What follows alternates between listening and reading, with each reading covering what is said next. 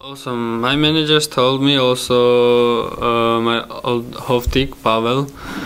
He's from Czech and he told me to Zlin is good team, historical team, and so I listen these people. These people are for me important, and also I saw in internet after now and because of this I, I come there, and I know to here is like you know the, this ambitional team uh, so fighter they are fighting for the I don't know first six and up to up step by step and because this was the reason why I come there. Yes, Bilek I know because uh, he was in uh, Georgia coach in Dan- Dinamo Tbilisi, uh, but he was before me.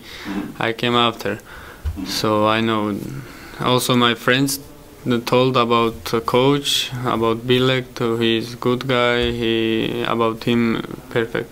Yeah, I know Czech league because when I was in Trnava, uh, I played some preseason against some Czech teams. Uh, four times or like this so i know like for me little bit similar like um, slovakia a little bit similar i mean physically because in slovakia also they play like strong football you know little bit and in czech i think this little bit similar of course, uh, I think, and I'm so motivated now because I want to fast as I can start with the team trainings, and uh, I accept like I don't know. For me, I think this is the step forward. This team, you know.